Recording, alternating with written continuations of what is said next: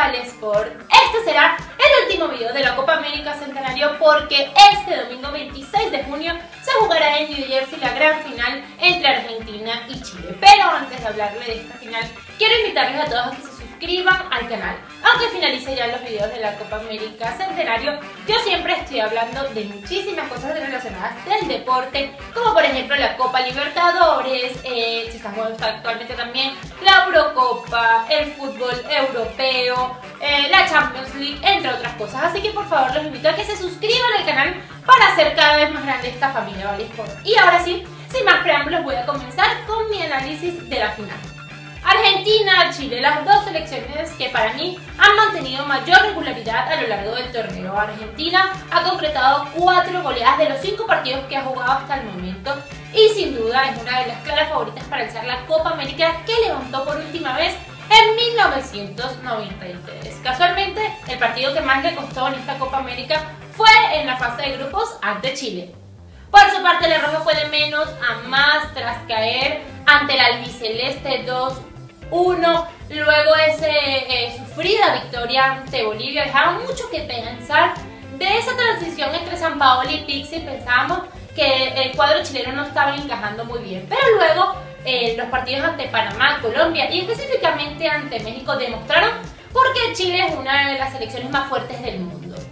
Llegan las dos selecciones más fuertes de este torneo, talento y capacidad goleadora por Argentina y presión y por Chile. Sin duda Claudio Bravo querrá levantar por segundo año consecutivo la Copa América y por su parte Lionel Messi finalmente querrá levantar su primera copa para su selección.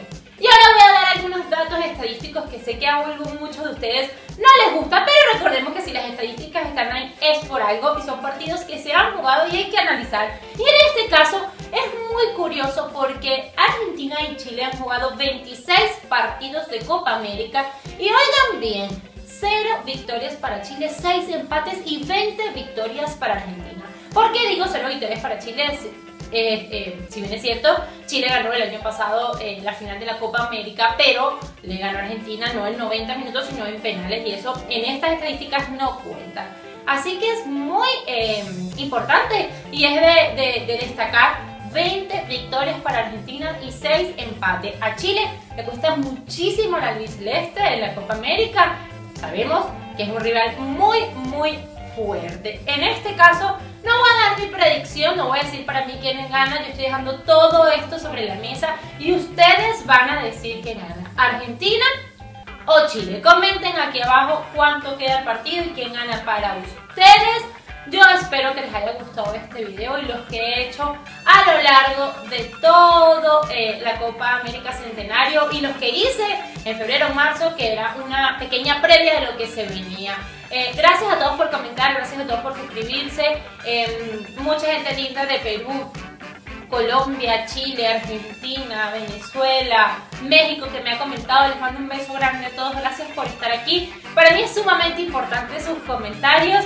Eh, más los buenos que los malos, aunque los malos tampoco me importa mucho porque quiere decir que están viendo mis videos y que les interesa. Si les gustó, no olviden darle manito arriba, chicos, suscríbanse al canal para formar cada vez más grande esta familia Vale Por muchísima suerte a chilenos y argentinos y nosotros nos vemos en un próximo video. Un beso grande, chao chao.